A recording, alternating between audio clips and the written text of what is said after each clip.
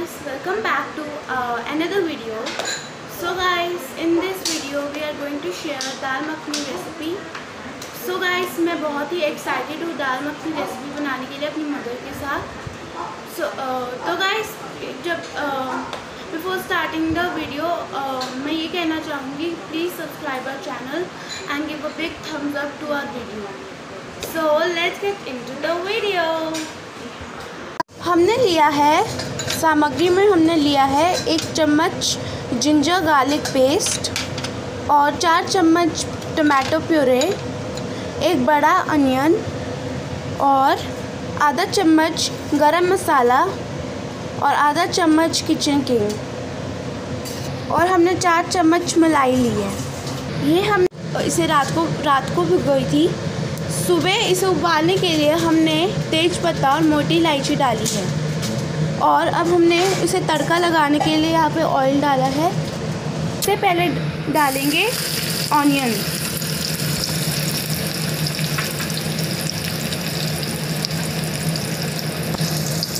अब हम इसे मिक्स करेंगे।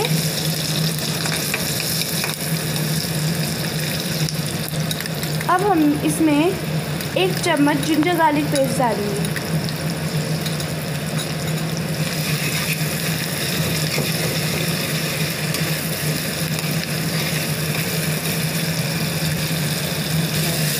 इसे गोल्डन ब्राउन होने तक भूनना है। अब हम इसमें टमाटो प्यूरी डालेंगे।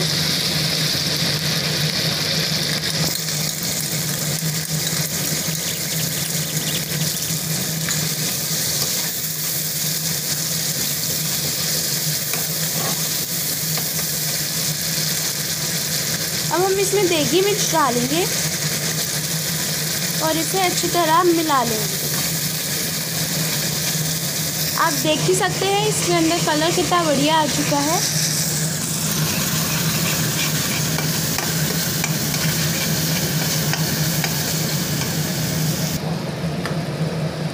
जब ये दाल बॉईल हुई थी तो हमने इसे निकाल के, इस प्लेट में निकाल के ठंडा होने के लिए फ्रिज में रख दिया था ताकि ठंडी हो जाए। अब हम इसे ग्राइंड करेंगे।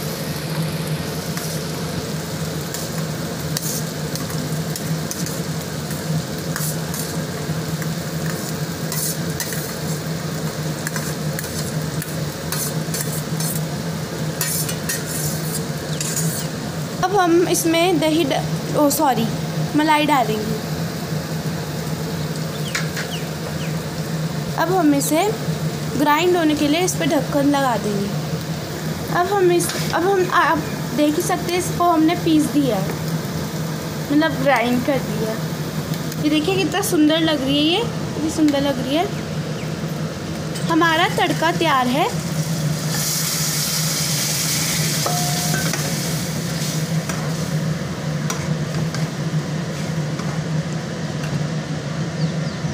अब ये जो दाल का पानी है, हम इसमें दाल डालेंगे।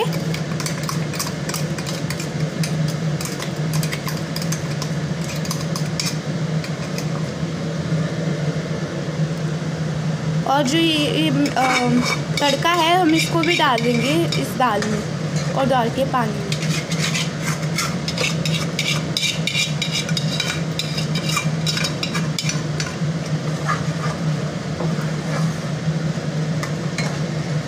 हम इसे मिक्स कर देंगे इसमें थोड़े मसाले ऐड करेंगे, गरम मसाला और किचन किंग ये जो दाल का पानी है, हम इसमें दाल डालेंगे।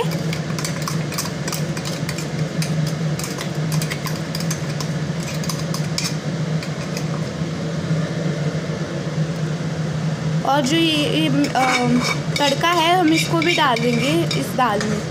और डाल के पानी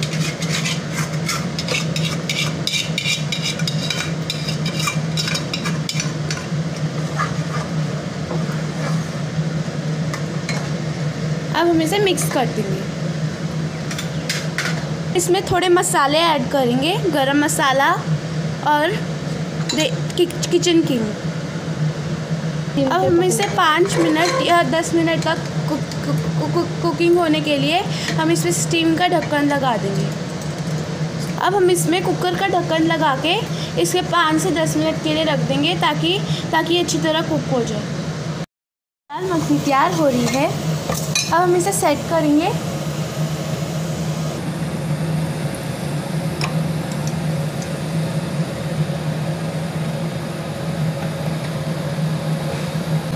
अब हम इसमें थोड़ा सा देसी घी डालेंगे।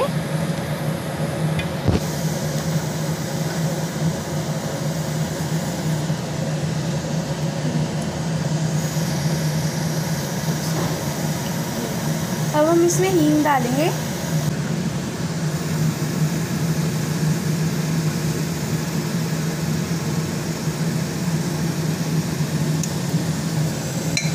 अब हमने इसमें बटर डाल दिया ओह सॉरी गलती से निकल गया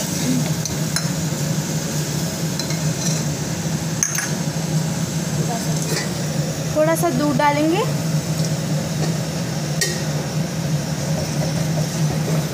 देखिए हमारी दाल मखनी कितनी टेस्टी लग रही है। यम्मी सी लग रही है, बहुत टेस्टी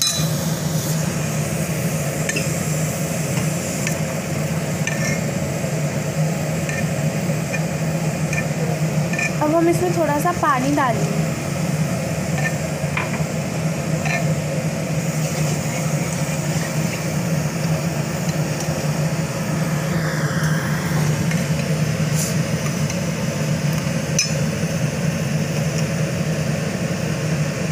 तैयार है। आप इस दाल मखनी को नॉन परांठा लच्छा परांठा राइस के साथ किसी के साथ भी बना सकते हैं अमृतसरी कुलचा के साथ भी। ये बहुत ही टेस्टी दाल मखनी है। प्लीज़ ट्राई कीजिएगा।